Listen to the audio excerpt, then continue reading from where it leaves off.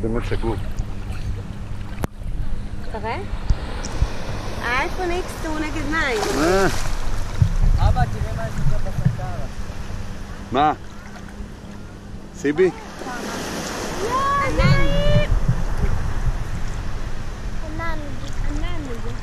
תקשיבו, אתם לא יודעים מה הולך שמה. שמה, ב- בפינה ההיא, ליד הצוק ההוא. תגידו, איך אתם בטוחים עם הדברים שלכם שם? אנחנו מסתכלים כל הזמן.